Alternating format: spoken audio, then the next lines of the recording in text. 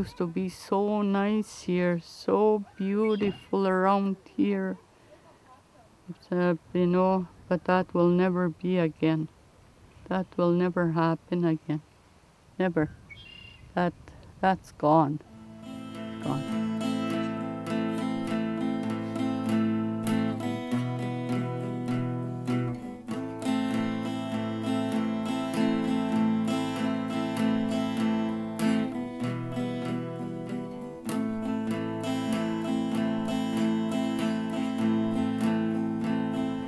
Water just came across the lake like it just flooded me right out and my porch came off when we were first notified that we were we were being evacuated from our community and we were told we, were, we cannot take anything other than our, our very least bits of clothing.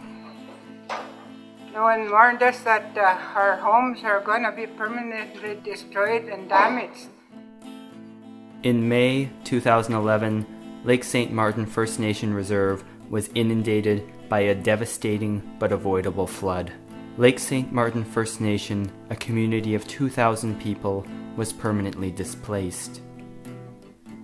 The Anishinaabe people of Lake St. Martin have lived here for many generations, since time immemorial.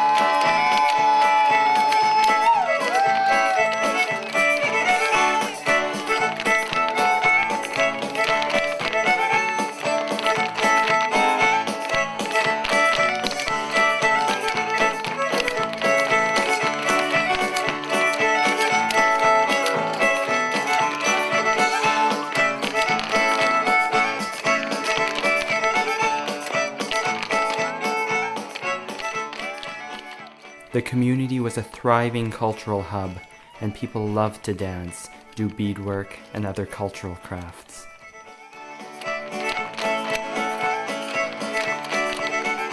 Women would get together to prepare the fishing nets, and men made canoes for the fishers to catch fish with. After settlements started in the mid 1850s, the fishing industry provided an income for the Anishinaabeg as well as sustenance. Back in the 50s, 40s, when they used to go hunting, and they just had to go go within the community to go get their moose deer. That's how abundant it was, and now we can't even find anything nearby. Lake St. Martin was once home to the buffalo and other hunting and agricultural activities. People lived well and sustainably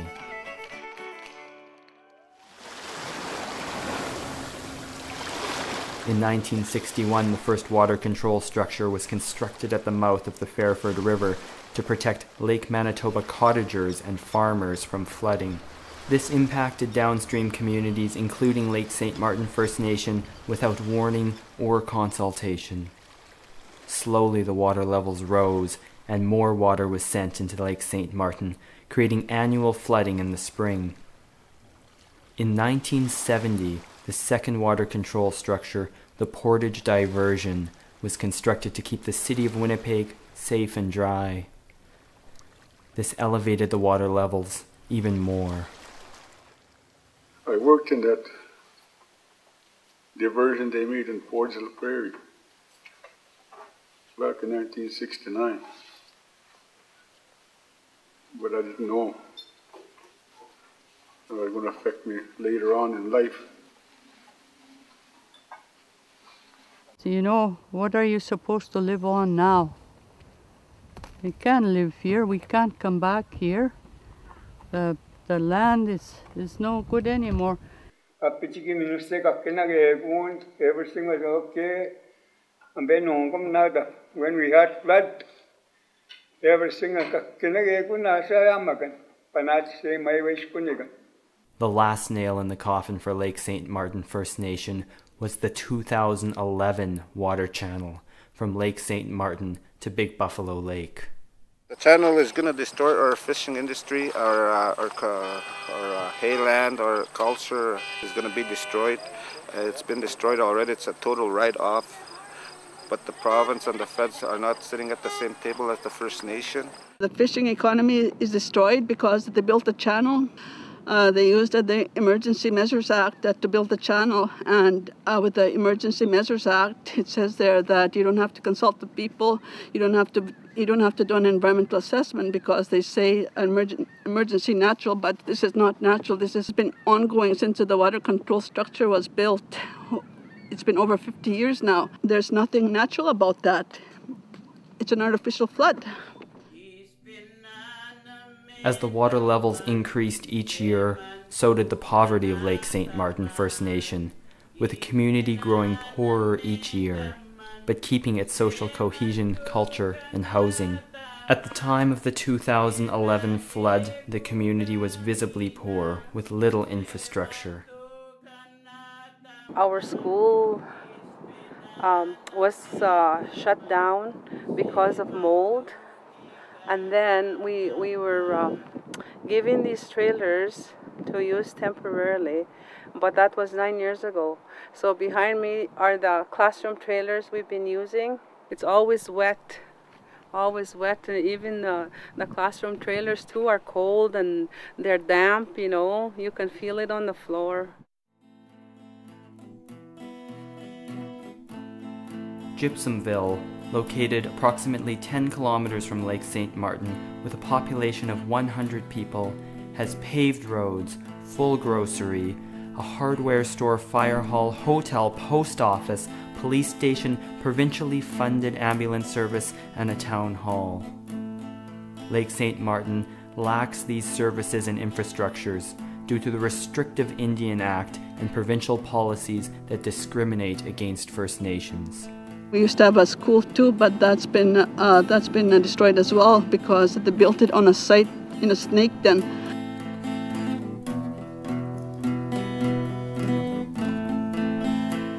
In 2011, Lake St. Martin, the water peaked at 806 feet, almost three feet higher than the historic peak of 1955. The KGS provincially funded report reads If no action is taken, extremely high water levels on Lake Manitoba and Lake St. Martin are expected to continue for an extended duration, leaving communities' homes damaged from flooding, wind, and waves. We've been flooded for so many years already. 55 years, and that's the same thing. Look at it's worse now. It's no good. Where are you going to build a house around here? The land is no good anymore. It's really uh, devastating. My mom's house is completely surrounded by water now. I was up with Merle two weeks ago. Uh, we had a look uh, and we met a number of people. We saw a lot of mold inside uh, several of the homes. Much of the land in which this community is living is in, in what we'd now call a marsh. And I think that that's been a con- big contributing factor to the mold problems which many people of the in the community have experienced. The water is coming from the lake, but as well, it's coming from up from underneath because uh, the uh, the land is is completely saturated. It's really saturated now. When you walk on on on what looks like dry land, if you walk on it, it's not really dry. It's wet. It's wet here. It looks dry, but it's wet. They want to do more hydro projects where they can make money on our water. You know, our lands are flooded while they make money on us. Now they're sitting back, and, and as we're suffering, we're displaced from our homes. Like we're, we're, we're like refugees. It's, it's not right that the government doesn't listen, you know, doesn't take care of the problems that they created for years and years. At the Assembly of First Nations Special Chiefs Assembly, Resolution 73 was passed on December 6th, 7th, and 8th, 2011. Article 10 Indigenous peoples shall not be forcibly removed from their lands or territories. No relocation shall take place without the free, prior, and informed consent of the indigenous peoples concerned, and after agreement on just and fair compensation, and where possible, with the option of return. Was everything that you had destroyed? Busqué.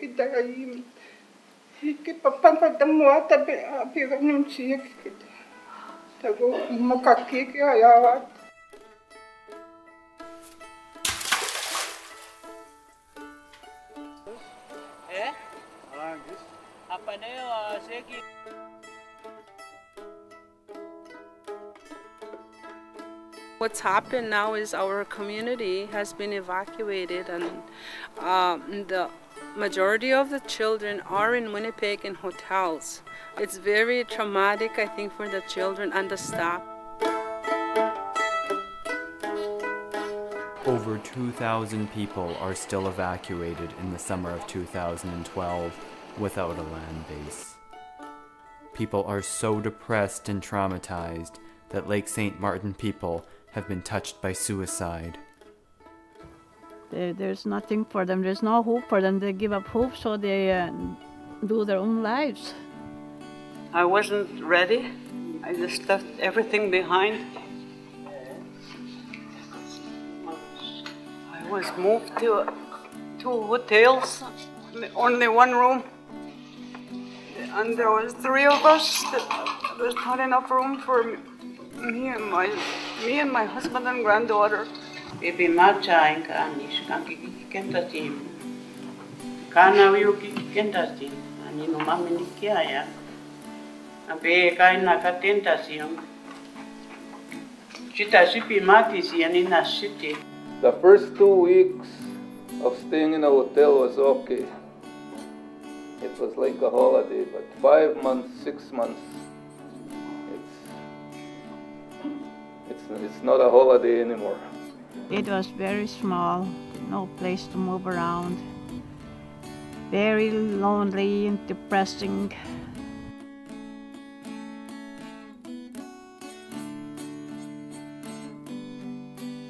Last summer was the last time I came here. I came here, I think, in uh, July or August at the height of the flood. We came back for the pictures today, the personal uh, memories that we have growing up. Domino wega wega miniting. Kama singet skimini gusi un mezi nun deste anga kogente ani soi chivi sinit na in a restaurant. In isi mina niskain pe pe me sko chiki vistini ya. Iku chivi sinange sinisi yang. Kan gimino ya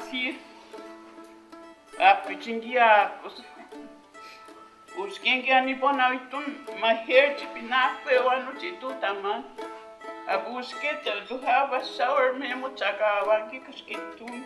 Papi kuyana ni nisina flexible. Oh, it hurts, it hurts. I get very lonely. I, I to cry all the time. This is impacting our family relationship as well. You know, our children, my wife, we argue more than we ever did. And I, I know a lot of people are going through the same thing. Our houses totally finished from the flood. We've lost our traditional way of life, but we've also lost our culture.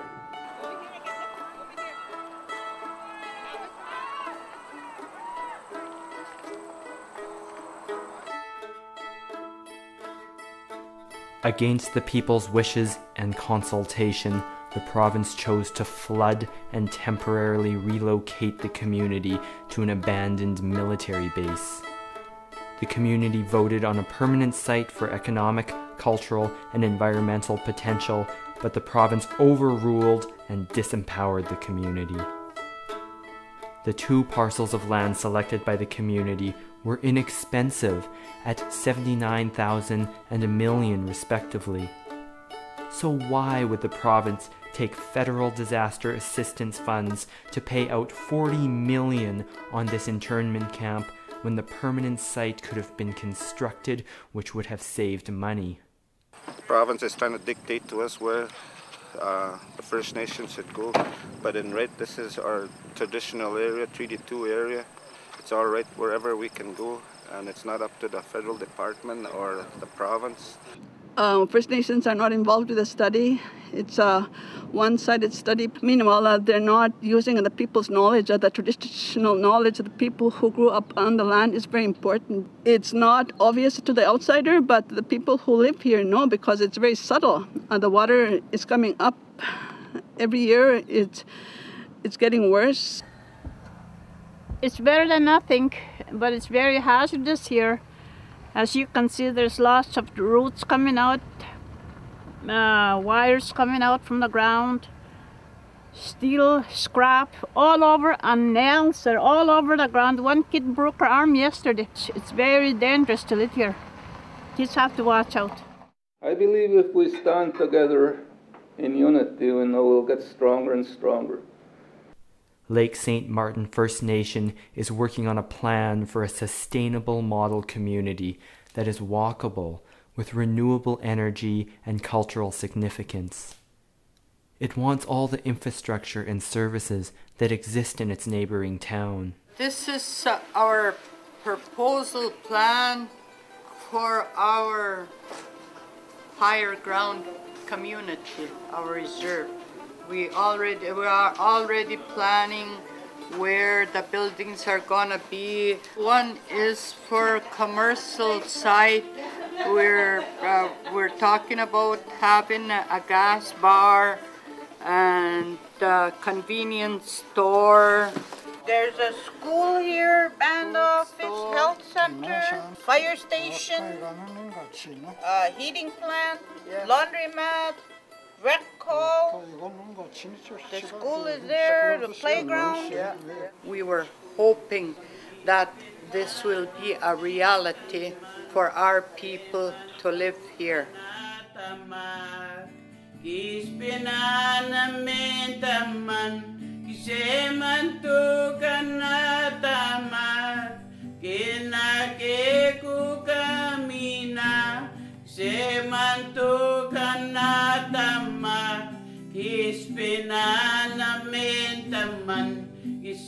At the Southern Chiefs Organization Chiefs' Chieftain Summit, held May 1st and 2nd, 2012, Resolution 5 was passed, which reads There has been no needs assessment or comprehensive community plan for any flood impacted community that considers cultural integrity, healthy living, and natural resources, and economic development for sustainability.